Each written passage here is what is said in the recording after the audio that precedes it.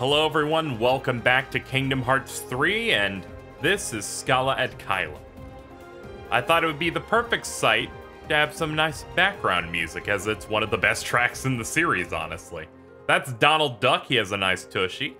This is Goofy, he's looking at me, uh, expecting something. Not much is gonna be happening in terms of action. We're not gonna be fighting any of those those silly enemies, right? None of those mysterious adversaries. Uh, turns out this game has secret reports, as seen right here. You unlock them by, once you load up a clear save, you can go and take on various battle gates throughout the game in the various worlds. And of the 13 main ones that are just kind of like enemy mob fights and like some have some mini bosses or old bosses in them, though those are kind of few and far between. They all yield secret reports, and there are 13 of them. And of course, the 14th Battle Gate is something we will be covering on video. Don't worry. But for now, I wanted to sit down and read these secret reports, all 13, and maybe decode or discuss what they mean. So, I thought that'd be fun. Let's get started. Recollections. Am I alive? I awoke in a cell, alone until the researchers came with their tests and their prodding to uncover my identity. I had no answer to offer them. Four friends and a key. That is the sum total of my memory. I could not even recall my name. I was simply called X there. My only solace was the time I spent talking with the two boys who would visit from time to time. One day, a man came to take me from the prison. I could not see him for the darkness save that he wore an eye patch. Even now, years on, I feel no closer to understanding who or what I am. May my heart be my guiding key. Unknown. So uh, I've only read one of these reports, and I've kind of like heard things from other people talking about them because I wanted to wait to record this first. I also pulled up notes because the Kingdom Hearts 3 Ultimania is out, and someone on Twitter posted translation stuff for like summaries, I guess, uh, like extra stuff with it, like Ultimania commentary for it. So I thought that'd be interesting to also pull up for this video. So this character is uh, X. We know that X is a girl because uh, she's like two two boys visited me, and we know that Axel and Saïx, when they uh, were younger, snuck into the Radiant Garden Castle to meet with a girl who mysteriously disappeared. This girl also, um, for some reason, Ansem the Wise seems to have hid her away or something, but he also doesn't remember it. There's there's a lot of layers to this character. And they already have clues of who this might be. Now, here's what the Ultimania commentary apparently says about it. The, right, uh, the writer is a girl known as Subject X, who is being used as a test subject in Ansem the Wise's castle. She is the same girl being sought after by Ansem Seeker of Darkness, as well as the girl Axel and Saïx spoke of and uh, highlighting the various phrases four friends and a key. The wording insinuates a deep relationship between four friends and a key, the Keyblade. The saying, May my heart be my guiding key, is connected in that and implies she's someone who came from the ancient past. Or a character that is suddenly totally into using that phrase, like Goofy. Uh, the two boys who come sometimes is referencing, of course, Axel and Saïx, or Lee and Isa, who lived in Radiant Garden. They would slip into the castle, which is something that we saw in Birth by Sleep when they're like, Are you. They, they had this moment when you finished Ventus's version of the Radiant Garden world in Birth by Sleep, where uh, Saïx and Axe were like, You ready to go? And they go in, and then I, I believe during one of the credit scenes, they get kicked out by the guards. Uh, so they filled in that blank with, They went to go see a girl. And then, the, of course, there's the I saw the man with the eye patch, and uh, that would have to be Xigbar or Braig at that point. Which, of course, he became one eyed during the events of Birth by Sleep and was around during the same time, so that fits together. But of course, the question here is who is it? Now, given the fact that um, Like like there's two possibilities there. It's like could it be could it be Ava, for example, because you know, she was a part of the Foretellers, and the Foretellers were five people, right? Pretty sure they were. And uh but I don't think it's that necessarily because I feel like um she she's just been missing the whole time, and I very much doubt, given what they did in the epilogue, that the way Braig or Xigbar says that Ava didn't make it implies that, you know, he hasn't seen her since uh, the stuff that happened in the mobile game. So I'm very much assuming that's what's going on. So the only other character at the top of my head that makes sense for Subject X would be Skuld. Now, for those who uh, haven't seen the Union Cross stuff, Skuld is the um, dark-haired girl who is one of the Union leaders in Kingdom Hearts Union Cross. She is the only female Union leader, and she's part of a group of five. Uh, on top of that, we have um, Saïx, who's themed after the moon. We have Axel, who, if you remember in Days, he talks about how the sun sets red, so it makes sense he's kind of like the opposite of Saïx in a way. And the theme for Skuld, at least in parts of her outfit, are stars. So a sun, moon, star theming trio motif would kind of work for her character. Why is she suddenly in the current day? And she was apparently something has happened to her that people are prodding her and testing her and then also uh, she she is asking what she is is also a very interesting thing. So already these reports are like really digging in. Also, I may get things wrong as I uh, address things in these secret reports, um, which I'm fine with because this is new Kingdom Hearts material. It's been a while since I've had the opportunity to be wrong about new shit with Kingdom Hearts. So feel free, we can have a dialogue in the comments maybe. Uh, report number two, Mark of Mastery Journal. So, in case you're wondering, these reports are written by different people and they are just a collection of reports that don't have a that all don't necessarily have the same theme, which is interesting. So, some days have passed since I set off on my journey to prepare for the Mark of Mastery examination.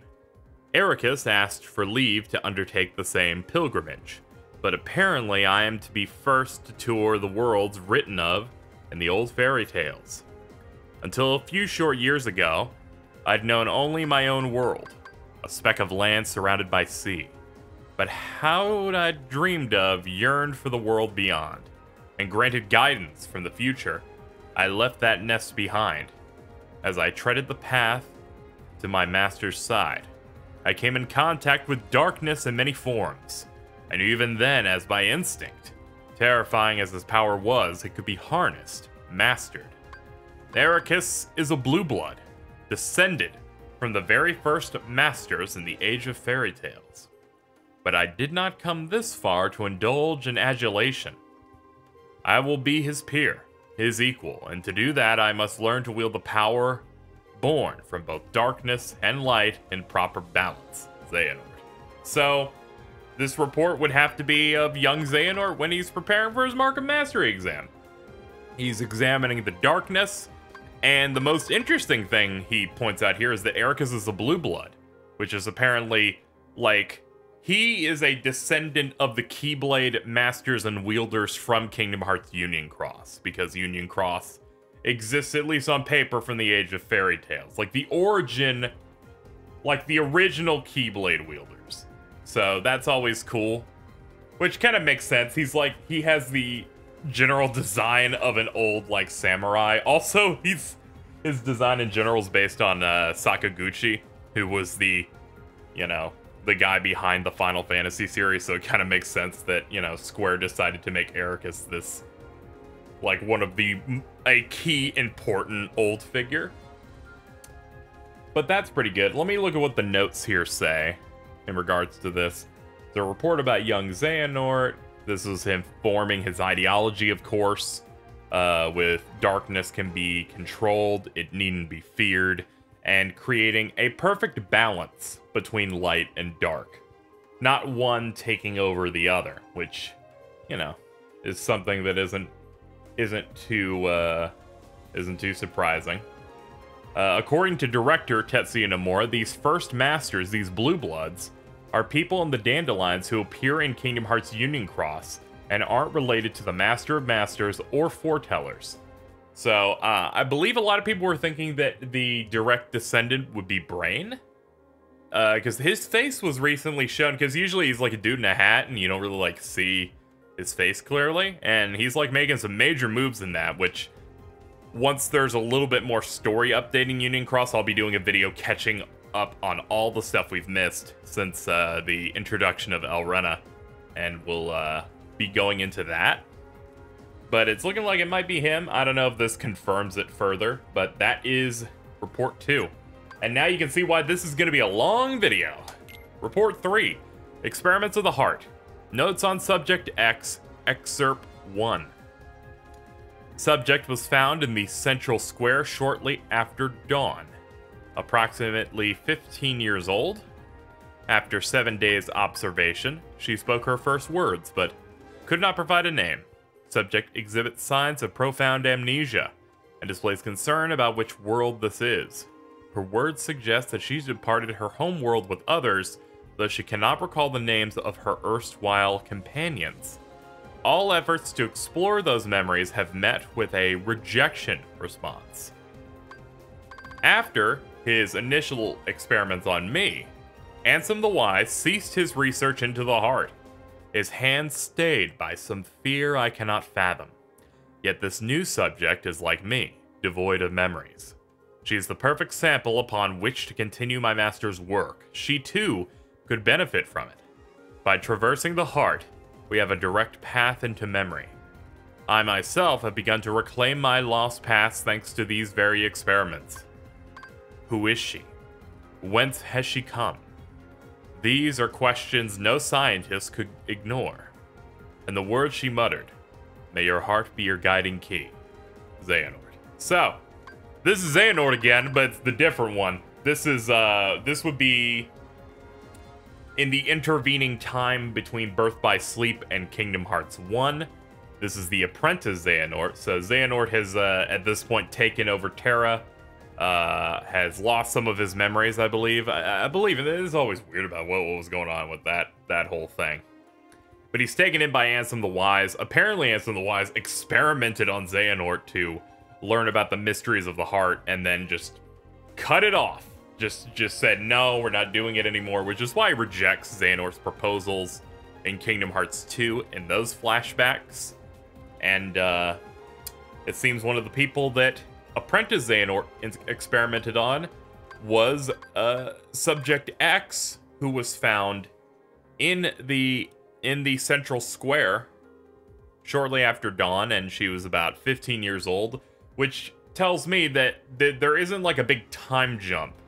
Because if we're gonna go on my assumption that this is supposed to be Skuld, then she ends up going through something, an event where she's separated from the other Union leaders and wakes up here in in in our in our you know radiant garden our normal world that isn't you know connected from the other thing. And seeing as some stuff's popping off in union cross i wouldn't be surprised if we don't have to wait very long for uh, that aspect to get paid off from this game.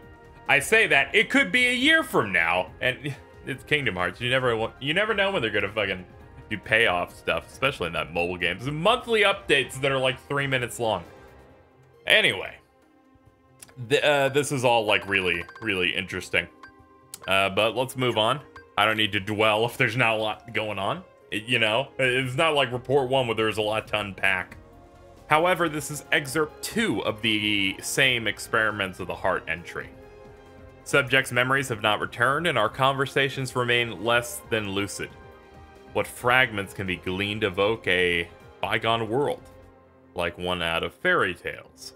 As improbable as it seems, the question may not be where she has come from, but when. If she truly has crossed through time, the prospect of probing her heart is all the more compelling. My pilot studies used a handful of subjects, but none possessed the fortitude to endure them. Ultimately, all suffered mental collapse.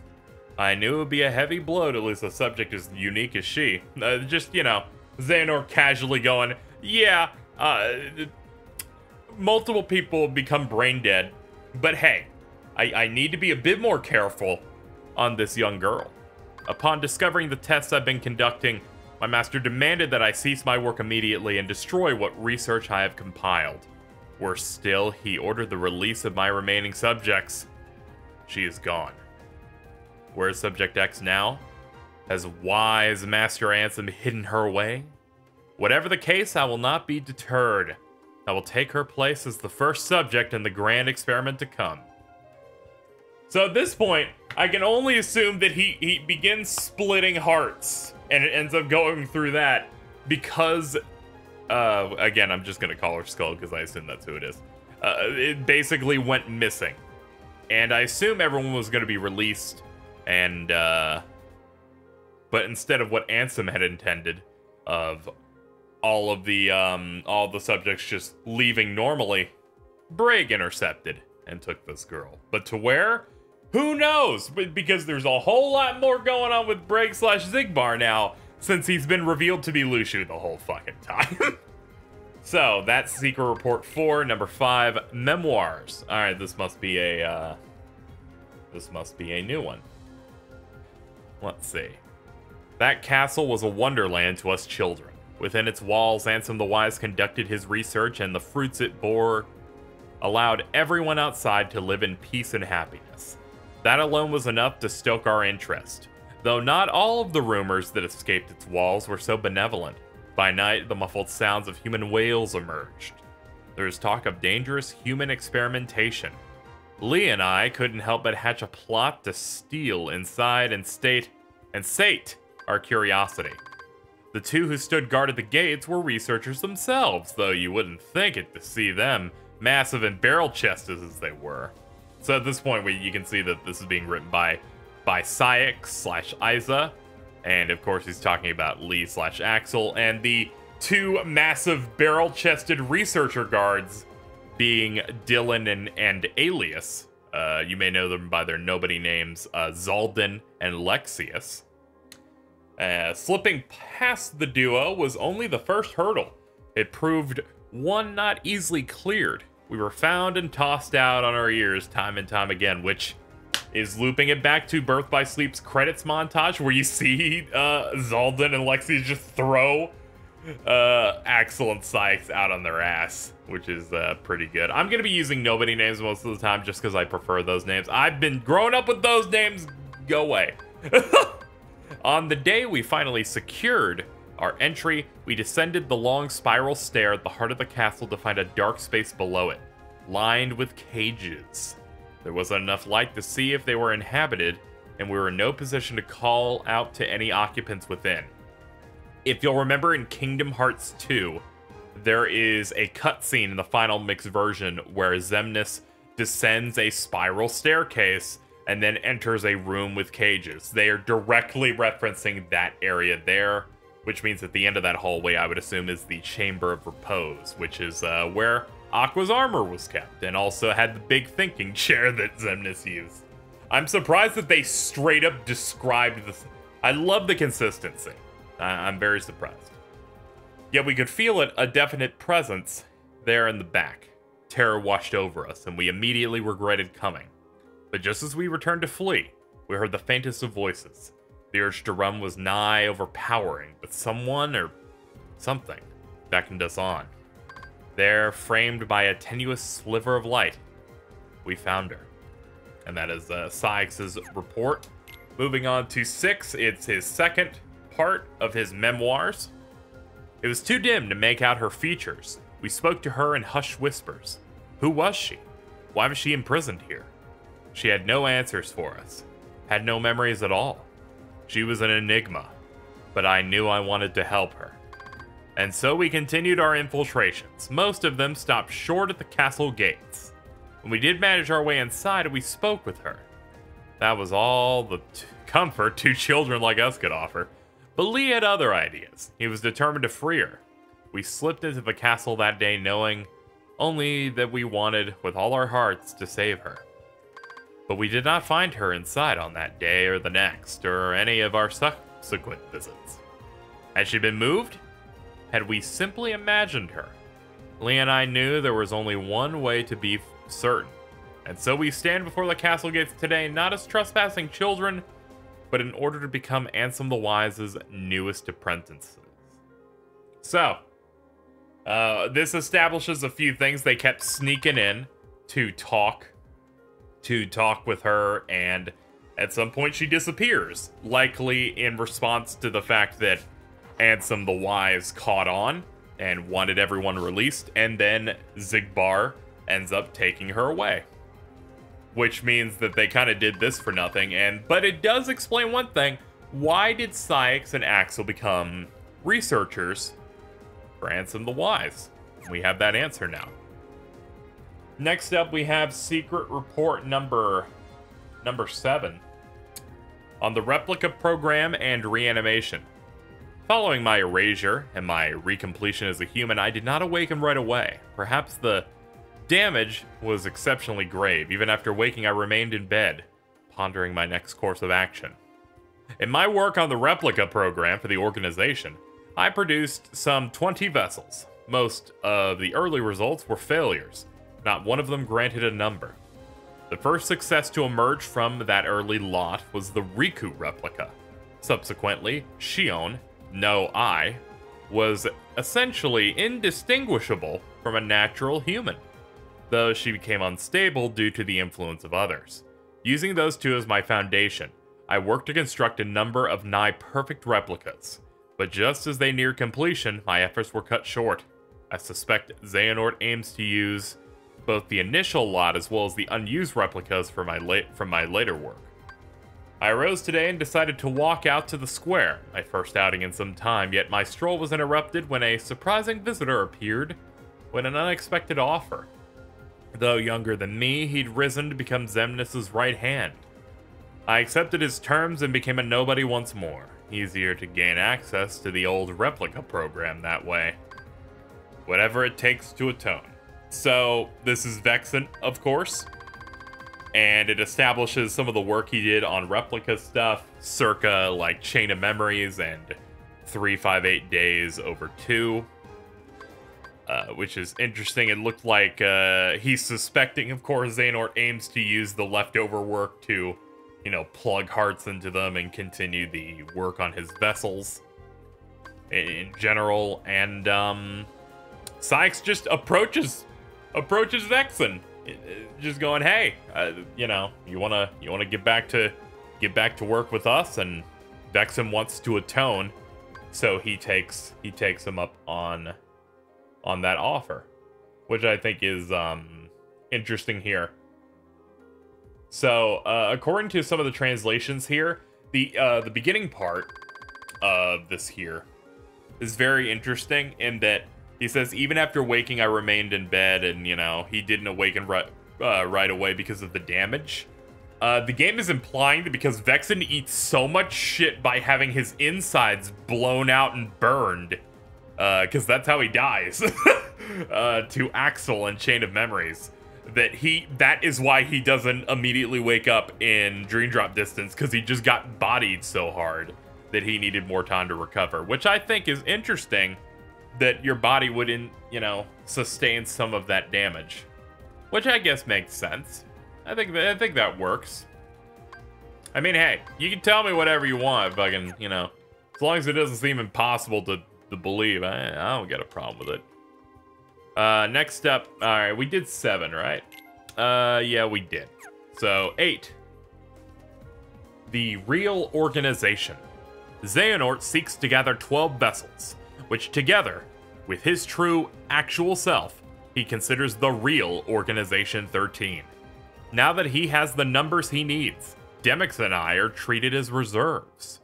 Several others who served Xemnas in the old organization have followed the same course as mine, electing to abandon their newly restored humanity and rejoin the real organization as nobodies. But not Xemnas.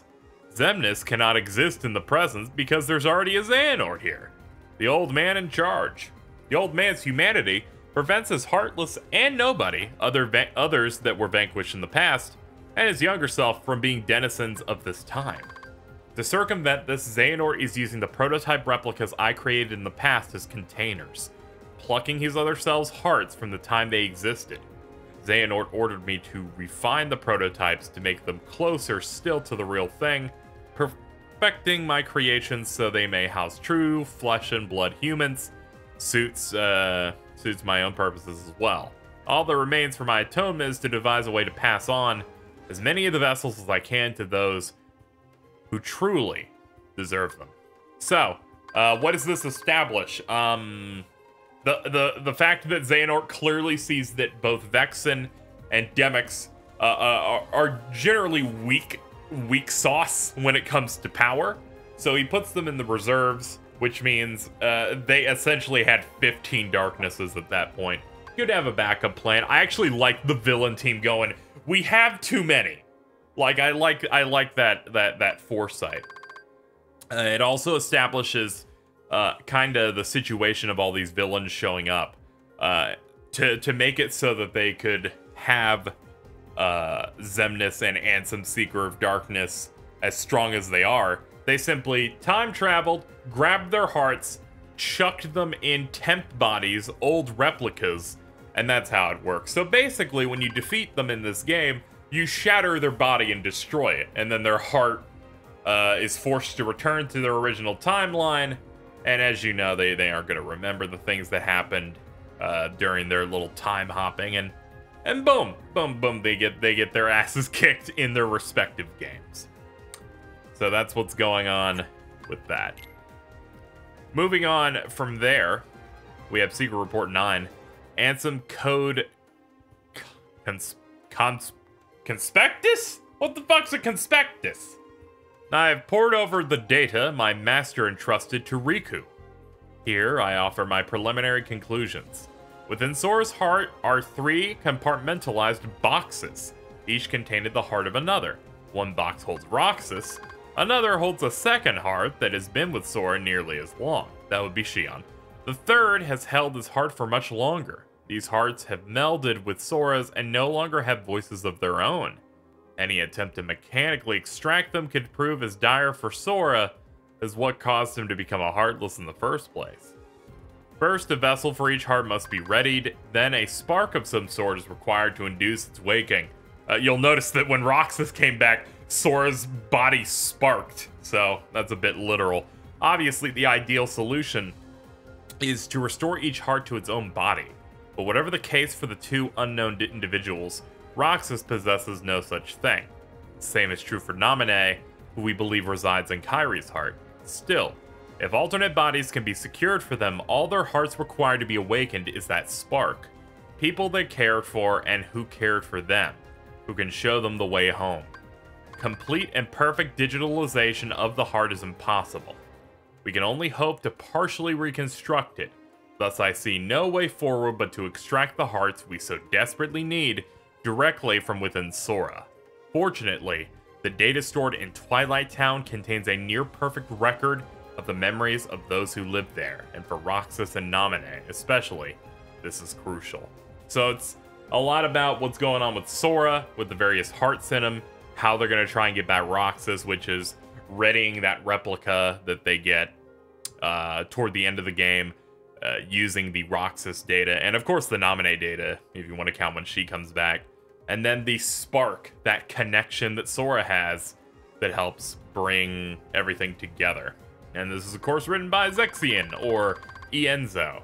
Which we kind of get a new context for him where it sounds like he was just straight up lied to and implied that Ansem the Wise, his, like, foster father, basically, abandoned them, which made him join the organization because he hated him.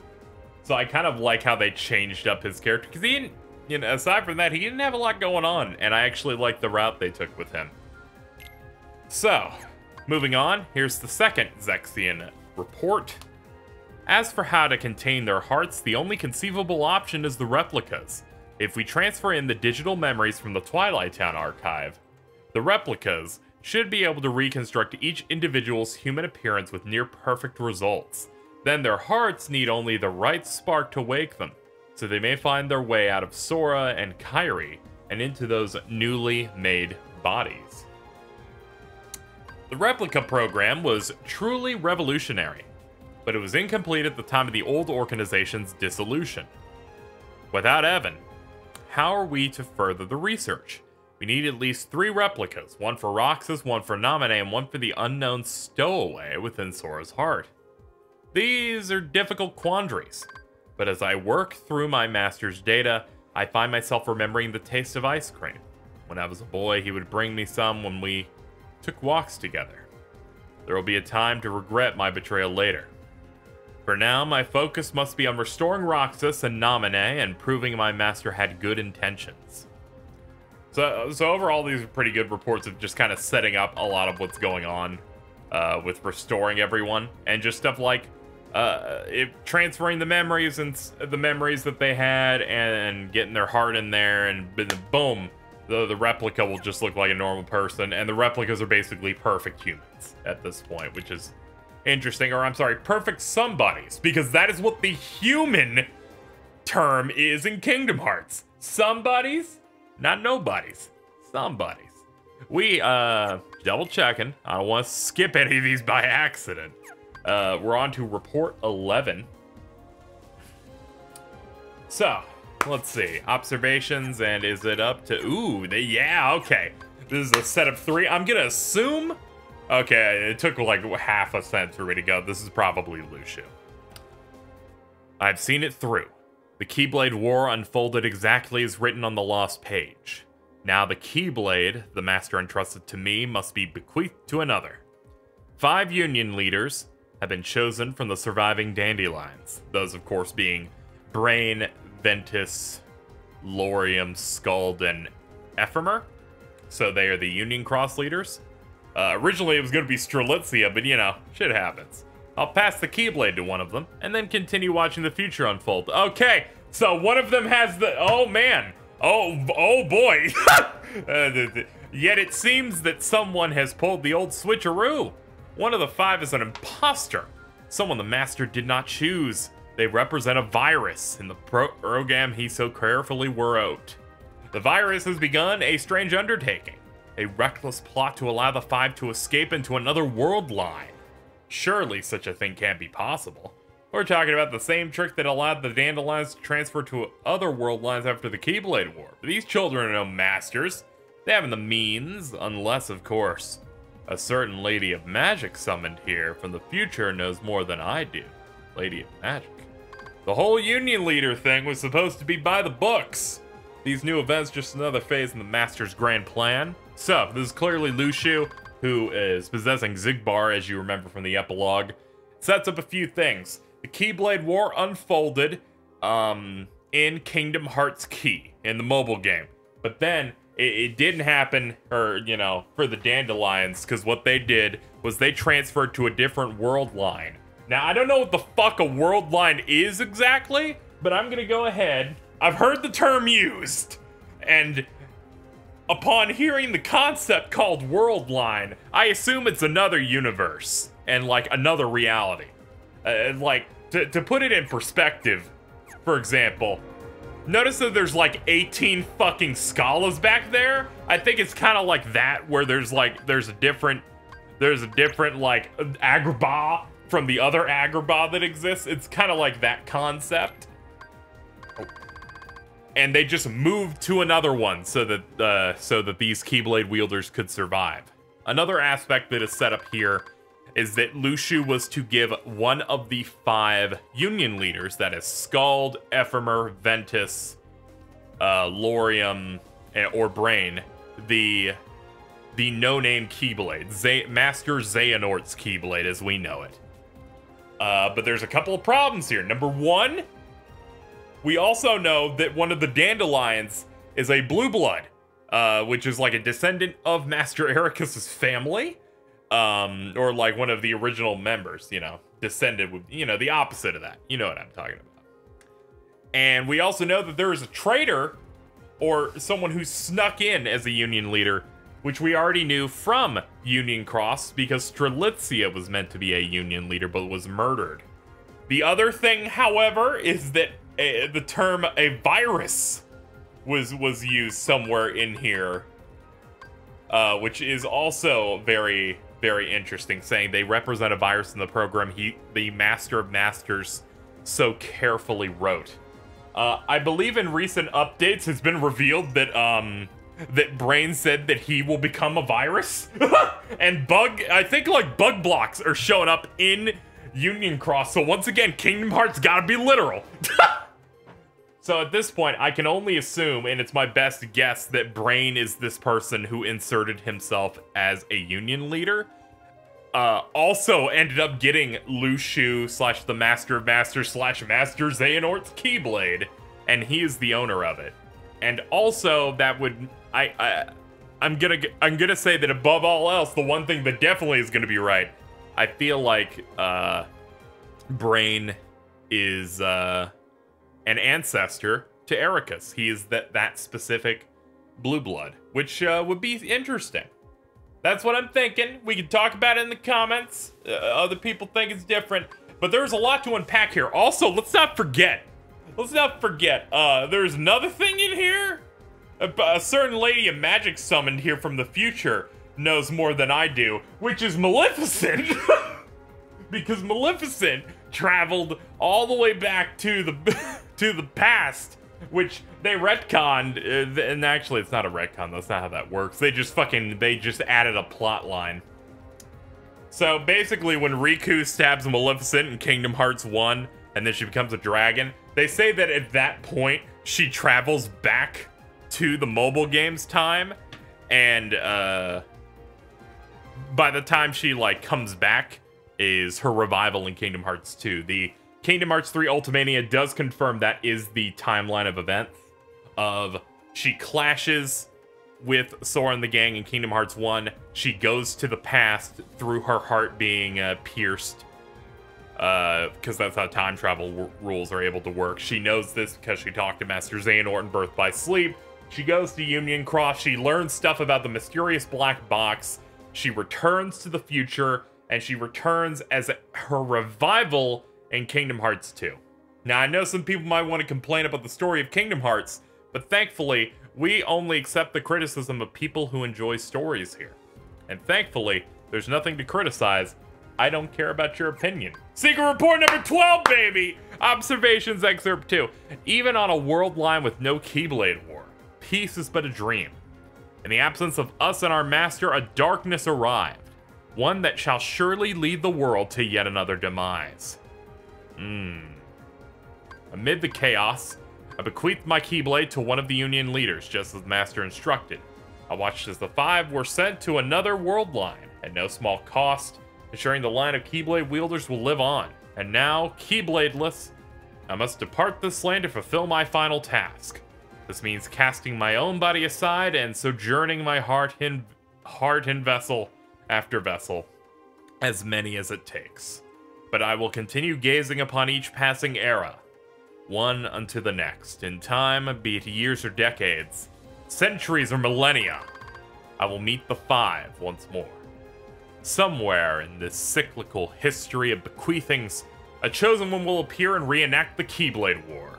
When this scapegoat arrives and takes my Keyblade in hand, that will be the time to take the stage and finish my role. The Lost Masters will awaken.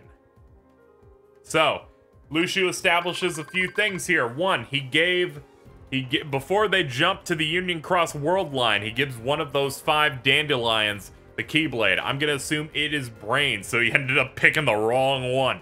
uh, uh, who knows? Who knows? Who knows how things are gonna turn out? So that ends up happening. Luxu then establishes that he's uh, abandoning his body and body hopping so that he can live in live indefinitely until someone using the Master of Masters Keyblade uh, brings forth another Keyblade War. And then something about the Lost Masters will return once all of that happens, meaning that Master Xehanort is actually a scapegoat which you know, I I think we all had to kind of assume by the end that either this arc was going to end with Master Xehanort not being the most important guy anymore, or he was the villain and then a new villain will be set up that's uh, disconnected from it. But you know, everything's got to be connected. The final report, observations excerpt three. Seems this body, this name will be my last. The lives I have lived over the ages could fill volumes. But for now, I must focus on what matters most. The Keyblade has been successfully passed down, generation to generation, and it seems a Keyblade master devoted to the darkness may finally arise. Until now, I've watched over the course of events from a distance. Perhaps the time has come to intervene. I'd only play the role of a fool uh, desirous of the Keyblade's power. I will don the mask of his ally in order to keep watch over my Keyblade from close by. The Gazing Eye, a Keyblade forged from the eye of the Master of Masters. He passed it to me, as I have to others, and through it he can see the future, all that will ever come to pass.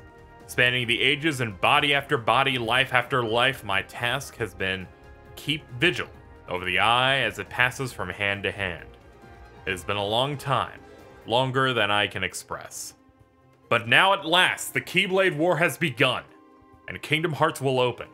A true and complete Kingdom Hearts. Both uh, born of the clash between darkness and light, I will soon be reunited with my old companions, and in that moment my long vigil will reach its end. He will return. So, this last report uh, establishes that uh, Luxu eventually encounters uh, Xehanort. By this point, he has uh, possessed the body that is called Braig, and he ends up joining him because he desires the Keyblade, which is just a front of he wants to assist him because he sees, hey, this this Keyblade Master is all about darkness, and he's already interested in the Keyblade War stuff. This is the moment and that is why Xigbar is so close and plays, uh, puts his lot in with Xehanort. Uh, aside from that, it seems that once the Keyblade War is done, uh, Luxu will then summon back the five foretellers, which are in fact the Lost Masters. And this, of course, ends with he will return, which I can only assume would be the Master of Masters? Who else would Luxu speak of at this point? we, you know, it could be someone else. There could be a new character uh, introduced. But I'm pretty sure the Master of Masters will return and he will bring himself and his foretellers together for whatever comes next. And with that, that's the 13 report. So to capital uh, to cap it off, here's my interpretation of some of the information we got. Uh, Subject X is most likely Skuld one of our Union Cross characters who, upon traveling to this new world line from the Union Cross one, ends up getting all jumbled up and doesn't remember certain things and is all like screwed up and separated from her friends, uh, which is a bit unfortunate. Um, other stuff, Eraqus is a descendant likely of the character Brain, who seems to be uh, possibly the person who killed Strelitzia and is the the virus, the un- uh, unexpected potentially uh, factor in the Master of Masters plan. The likely the ancestor ancestor of uh, Eraqus probably has the no-name Keyblade, Master Xehanort's Keyblade eventually. Uh, they wanted to do the Keyblade War, Luxu is Xigbar. There's a lot of stuff. There's there's a lot of stuff here. But I think I think that I think that covers pretty much, pretty much everything. That is what the secret reports of Kingdom Hearts 3 had to tell us. Uh, to rank them together, I would say that these are the most interesting ones because they present more questions, uh, questions and intrigue than any other secret report in any other Kingdom Hearts game ever has. A lot of the other times, they were written by the villain of the game that you defeated or fought, uh, this time it was from various characters and characters who uh, were revealed, you know, like aspects of them were revealed later. So, uh, in general, I think that they were really good. The idea of splitting it between different characters to cover certain aspects of the plot uh, was a really good idea.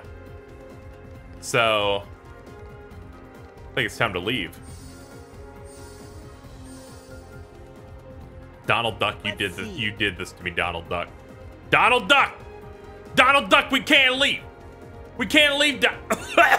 Donald, do you understand the problems I have here? Let's see. You, you understand? I come over here. I come over here. Look at these guys. Look at these. fuck you and take the pick the picture.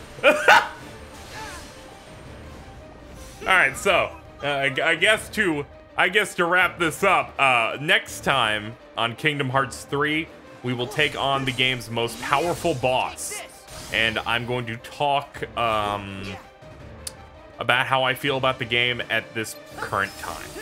I think that'll be fun. We'll get that going. Thank you guys so much for watching. I'll see you next time.